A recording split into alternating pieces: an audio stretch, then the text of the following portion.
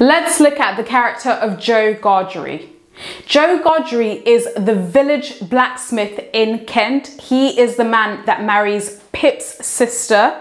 And even if he's not Pip's maternal father, he basically takes him in as an orphan and he treats him like his own son. Indeed, he shields Pip from attacks by his abusive older sister. He treats him like a son, he takes him under his wing.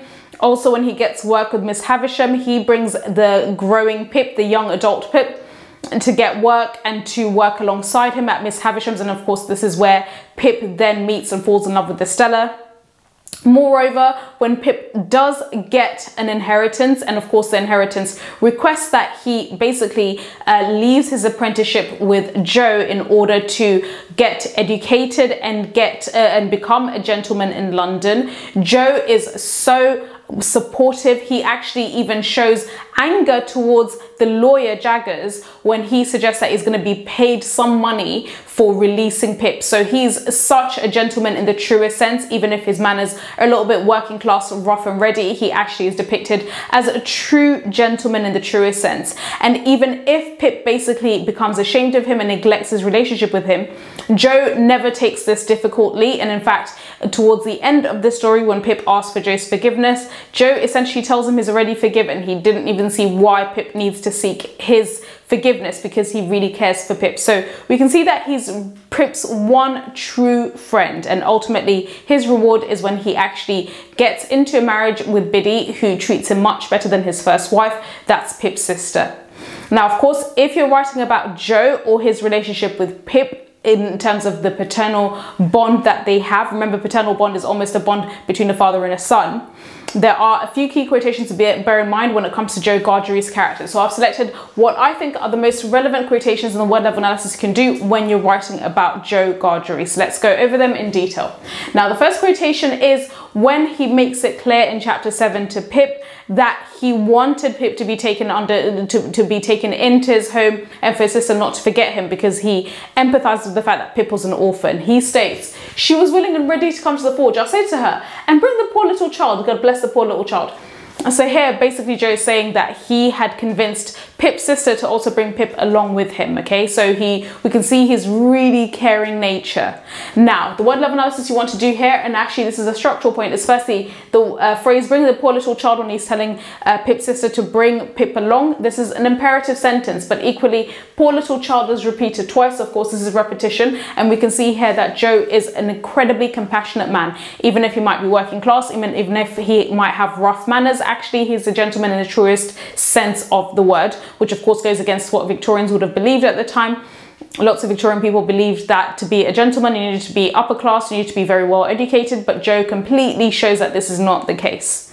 Now, the second quotation to bear in mind for his character is when he states, if and this is when Pip basically gets a huge inheritance and he gets instruction that he has to leave Joe's apprenticeship and Mr. Jaggers, the lawyer, basically tells Joe that he will offer him money and compensation. But Joe seems to be very moral and he actually is very insulted by the idea that he's going to somehow be paid uh, for releasing Pip because for him, looking after Pip has always been something that's given him a, a very gratifying feeling. It was never about money.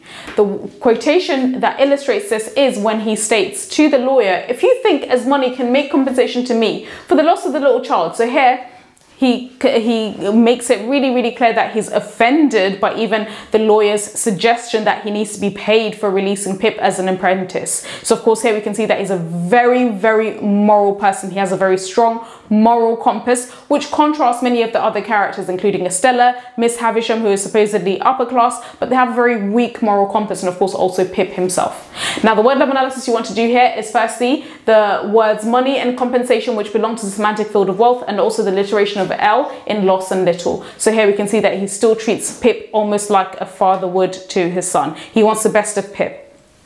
The other quotations bear in mind for Joe Gargery's character is when he states, It ain't that I'm proud, but that I want to be right, as you shall never see me no more in these clothes. I'm wrong in these clothes. I'm wrong out of the forge, the kitchen, the meshes. Now, here we find that this is when he visits Pip later on. Pip has become a gentleman. He goes and visits him in London, and he looks very out of place. He himself feels very self conscious. He's a working class man and he's in high society. And he also notes that Pip feels a little bit embarrassed to be reminded of his working class roots when Joe appears. And Joe basically says, you know, I feel really out of place. I'm just a normal working class man. I'm not putting on any airs. And also I feel totally out of place here. So he's, he prefers a very simplistic lifestyle. And of course here uh, as well, we can see that he does not care about external appearances, which is what Pip is completely obsessed about.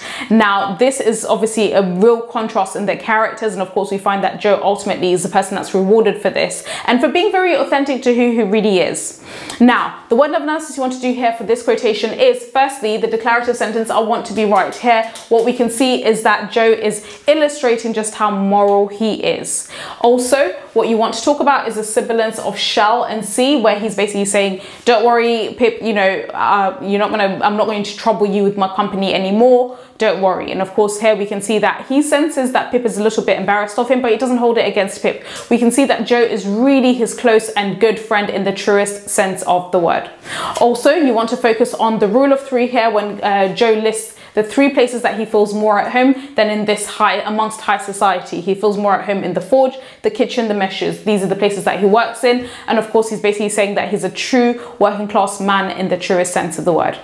Also, the other quotation for Joe's character is when he states, Dear old Pip, old chap, ellipsis, you and me was ever friends. So this is when Pip realizes and recognizes the true people who really cared for him. Joe being one of the primary people that cared for him, and he apologizes and seeks his forgiveness. And Joe says, There's nothing to forgive. And here we can see just how pure of heart Joe is. Now, the word love analysis you want to do here is repetition of the word old. Okay, so here he's being very chummy with Pip also, you want to focus on the pronouns you and me. And here we can see that uh, Joe still really, really cares for Pip, okay? And obviously we as the audience and we as the readers really, really admire Joe for how forgiving he is of Pip's treatment and Pip's neglect of their relationship. Now, the other quotation to bear in mind and the final quotation is when he states, still affirming that he really never held anything against Pip and he cares for Pip, God knows, as I forgive you, if I have anything to forgive, okay? And obviously here, anything is uh, spelt is misspelt deliberately by Charles Dickens to show that Joe is not educated. Now, again, here you want to uh, focus on the semantic field of religion, the word God and forgive because we can see that Joe is almost this godlike character in terms of how good and how kind he is to Pip as a person. Also, you want to focus on the repetition of the word forgive, it's uh, repeated twice. Of course, here we can see that Joe doesn't hold Pip's uh, treatment of him against him. And finally, he speaks using an exclamatory sentence. Okay, so here we can see that Joe really never held anything against Pip. So that's it when it comes to the character of Joe Gargery and the key quotations to bear in mind when you're writing about his character or indeed revising about him. Thanks so much for listening.